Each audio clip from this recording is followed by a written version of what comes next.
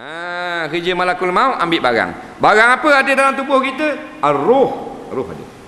Ada roh ni kita boleh hadir mana ni? Hak tak ada roh ni duduklah kubur dak hari dah. Ada roh ni, ah roh ni tugas malaikat maut ambil balik. Kaki dah ambil, hidung dah cara, mata elok situ ah. Perut dak kosek. Nak tangan tak mau. Dia nak roh. Tugas dia ambil roh. Nah, ha, dia ada tugas masing-masing. Macam JPJ JPJ tak cara kalau kita timbang lebong. Kita jual pasal dacing kita lebong. Dacing memang lebong. Faham? kita lebong Orang JPJ lalu. Dia tak cara. Kan bagian dia. Betul tak? Orang jabat tanah Pengaruh jabat tanah ha? Dia pergi ngai tu.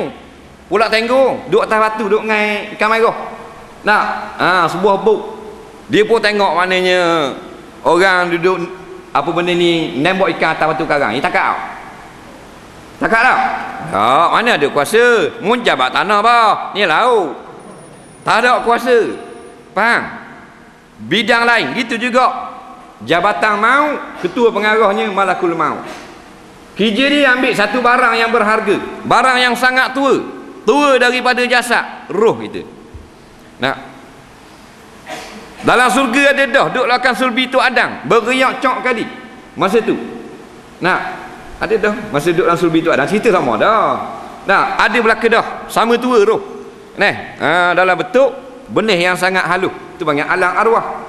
Ada belaka kita masa tu ada Anita Sarawak ada masa tu sama. Ada belaka. Nah, ha.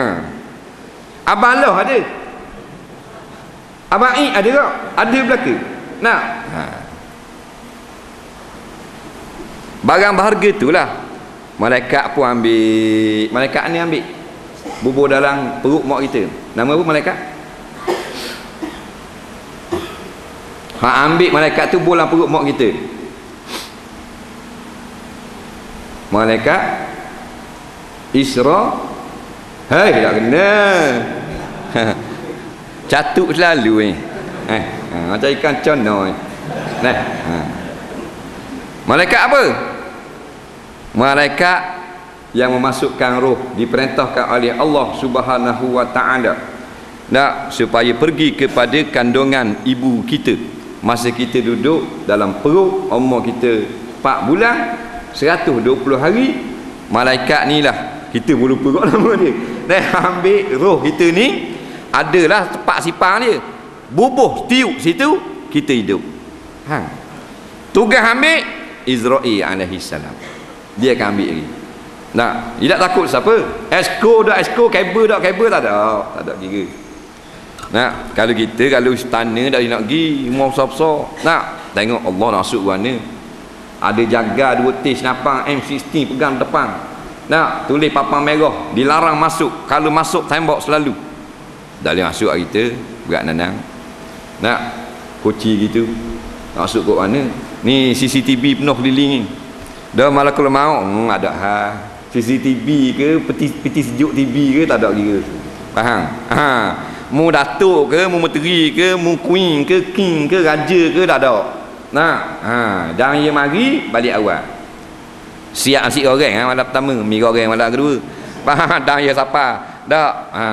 Malam nama biskut meri hmm. teragak buat sekali biskut malam nama Tengok gocohnya yang tuan rumah. Ha nak. Tok imam kelebeknya muka. Nak. Ha, dia main nama nasi emo. Kecong kok sekali tengok teh makan yang kata ikhlas sangat. Wa ma umiru illa liya'budullaha mukhlishina lahuddin. Tidak kami perintahkan manusia itu melainkan mereka itu supaya ikhlas beragama pada Allah Subhanahu wa taala. Nak, ha, teh kali. Malang kepak buah nasi lu. Nak, malang kepak buah nasi minyak. Ah, wak wak wak wak nyanyok kali nama nah ratik tujuh malang malang kepak wak asyik minyak kali. Gamuknya malang kepak tu sudah makan bunyi belaka. Oh malang kepak asyik minyak dah. Oh. ni kau kuang bukhari. Kalau tak pun nama Abu Daud lagi. Tak? Ha oh, tengok ah, nama hari tujuh noh hari. Pala tiala stewong kata giling hari habis. Ha waktu bit biskut meri cicah dengan air kosong. Nak tengok ah nak dak alik biar nyanda tu imam. Bang sikit bagi dua pin nyanda orang ni lambat ni? Saya ada kerja pula ni. Bang mau kata kerja apa? Tak ada kerja habis lah habis habis kuk lah ni. Tu bila kata jangan buat gurau gitu. Mana aku dah makan dari bagi tadi mana ha dak eh sungguh wallahi pun. Sumpah sepul bang memang misku nazar dah. Tengok ah esok.